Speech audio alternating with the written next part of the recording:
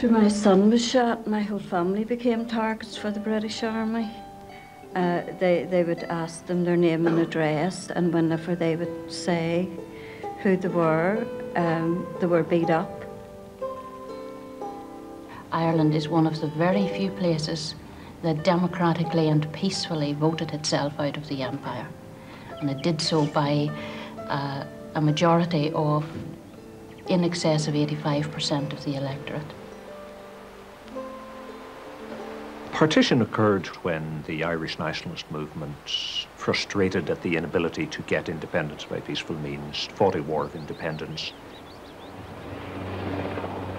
An artificial entity has been created which has imprisoned both Catholics and Protestants in a very painful and, and very bitter uh, web of history. The British government created the six county state by carving out from Ireland the largest land area in which it would be possible to maintain in perpetuity a majority of Protestant loyalists.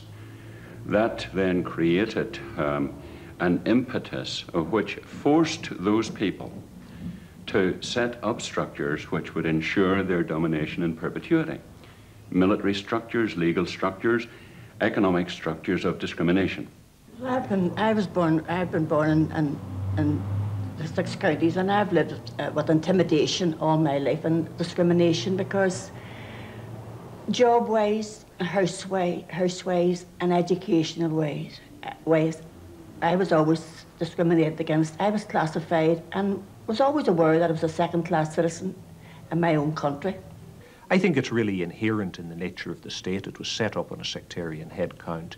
It was set up in a situation where the majority of people in, in Ireland didn't want this state. A very big minority within the state didn't want it. And the only way it could maintain itself was by institutionalizing sectarianism and maintaining sectarian discrimination and repression. And I think that so long as it continues, it will have to continue to do that. So if you build a state that tries to exclude one third of its community from democratic power from education and from employment, you're building a problem. The legacy of the 50 years of discrimination and repression provoked the Catholic minority into revolt in the 60s. They revolted peacefully, but that peaceful protest was met with repression and they didn't get reforms. gentlemen, please! God save us all! In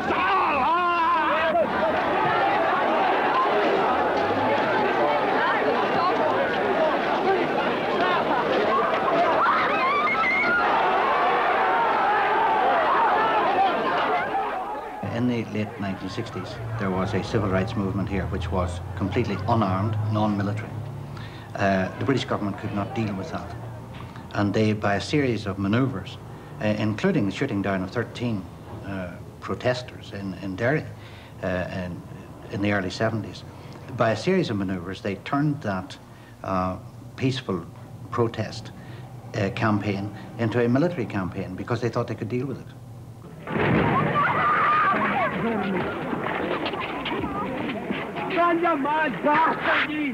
The state has basically existed in a state of emergency from its inception. It began with the British Defence of the Realm Act. Uh, in every generation in Northern Ireland, internment without trial has been in operation. We have had now for 20 years non-jury courts. We've had a whole series of uh, interferences with the legal process, the use of supergrasses, uh, torture of prisoners to obtain confessions and so on. Britain has been dragged again and again before the European Court of Human Rights for its violations of human rights in Northern Ireland. And the only way they can contain the situation here is by this type of repressive legislation and by a massive army of occupation. And it's, it's a bit like the Vietnam War for America, that it eventually becomes a war that can't be won and can only be held to a draw by fighting a dirty war of repressive measures, army of occupation, undercover assassinations, and so on. All of which has its effect on the, on the British state itself because it is gradually destroying the traditions of democracy within Britain itself. It was a sunny August afternoon, and uh, we was standing around with a few of his friends. Uh, we had a couple of drinks, I suppose. And a scuffle broke out with uh, Foot Patrol. Uh, his mates started, the, the soldiers started to arrest him. Uh, my brother, he started to run to avoid arrest. Um, a soldier ran out, he ran after him, and he couldn't catch him. Uh, and I think one of the, whoever was in charge shouted to the soldier, shoot the bastard. And uh, he couldn't catch him at all, so he knelt down and shot him in the back. He was, he was murdered for uh, just nothing, like, you know. Shot down like a dog. You can't have your army over here, armed to the teeth, bored to the teeth, filled with irrational prejudices about the people in this country, and expect them to say, Excuse me, sir, do you mind if I look inside the boot of your car while good evening, madam? Isn't it a lovely day? Because uh, their soldiers do get shot. And because they don't know. They, you know, they don't know if the person who will say, Good evening, officer, will shoot them tomorrow.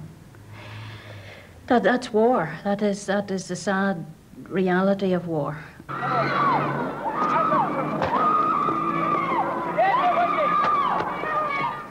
My sister was shot in 1981. She was 12 years of age when she was shot. And one of the soldiers shouted out, We're going to get one of you bastards for our five today. A plastic bullet was then discharged and Carol Ann was hit. She lived on the life support machine for three days and then died. In training, they took us through um, a gallery, what they called the Home Goals Gallery, a big blow up photographs, IRA atrocities. Needless to say, there was no photographs of victims there uh, Bloody Sunday, plastic bullet victims, or anything like that, you know. Brian was in home at a quarter past six. He went out. I had given two pence and he had went out. And at 28 minutes past six, a boy came to the door and told me that Brian was shot with plastic bullet. And he was only 13. And I know he was no threat to anybody. This began purely and simply because the Catholic nationalist community finally came to the end of their tether and they asked for equality in this society. Equality in jobs, housing and voting and an end to special powers and military policing. Now, if the English people really knew what was taking place here, if they were allowed to debate it, I believe all of their instincts would lead them to say, this is intolerable, this must be ended. The very last thing I ever saw was one, one young man having his head beat off a Saracen. So I felt very, very frustrated, felt so helpless. Didn't know whether to scream or cry or what to do, at what, at what was going on in the street. And I told one of my children, my teenage children, to put on a record. And she put on the record Four Green Fields. And it was only playing minutes when a paratrooper stepped right in front of my window and fired directly into my face. I was taken to the hospital and my eyes were so badly damaged that they both had to be removed.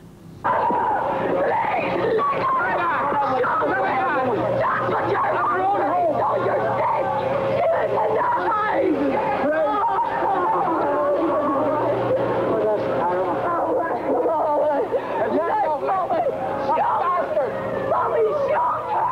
just wanted to die. When you're the mother of 11 children and you've led a very active life, to be told you'll never see your children again, I just couldn't accept it. And for no reason at all. The Northern Ireland state has failed. It has palpably and de demonstrably failed, and the attempt to continue it in existence, to keep it going, just leads to a steady hemorrhage of blood, to the political and military conflict that we have, which kills 100 people a year, maims a thousand people a year, results in hundreds of people being jailed, has devastated the economy of the area and led to massive unemployment. How do you resolve that? And uh, it seems to me that the only way that you can resolve that now is by looking again at the whole political structure of the place. And you have one dynamic drive to reintegrate it with the rest of Ireland. You have a resistance to that, but is that resistance based on anything tangible? Is it possible to continue a separate state in Northern Ireland? And, and, and, and for it to be a democratic entity, and I don't believe it is. The myth of Catholics and Protestants not being able to live together was invented uh, in order to keep control of the people. Our loyalist minority in Ireland is a besieged and frightened minority, and it is our obligation as Irish people to demonstrate quite conclusively to those people that they shall have an equal and just place in a new Irish society. There will be no domination for any group or any section, whether it be uh, clerical, uh, whether it be political, or whether it be economic. It must be a society of equality. I think what people have clearly to understand is that those of us who most want to see an end to the British Army and an end to partition are not asking the Protestant people of the North to live in Charlie Haughey's Free State. I wouldn't live in it myself, and I wouldn't ask anybody else to live in it. Uh, and I think if they if they knew that, you, you should be fit to build a country here ourselves.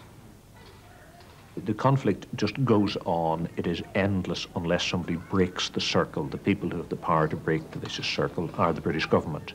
And they can do that in two steps. They can do it by saying that they are going to withdraw from Northern Ireland, they're going to withdraw their troops from Northern Ireland, that the future of Northern Ireland lies with the South, and then agree with the Southern government to a roundtable conference of everybody involved in the conflict, including the IRA, including the Protestant paramilitary groups, because there can't be any solution without involving the main actors. What I would like to see them see them announce is first of all a clear declaration that they now appreciate that peace in Ireland depends on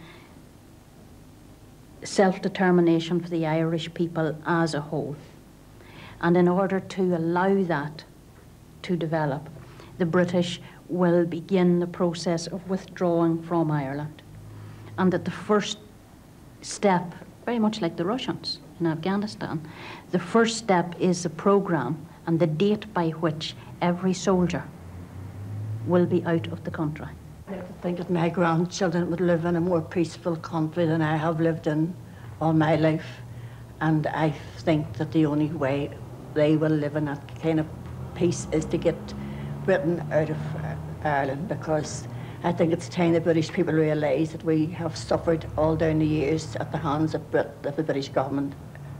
And I think it's time that they pulled out and left us to rule ourselves. And for, my, for the benefit of my grandchildren, it can't come soon enough because I feel I owe it to them to let them live in a more peaceful just society than I've ever lived in.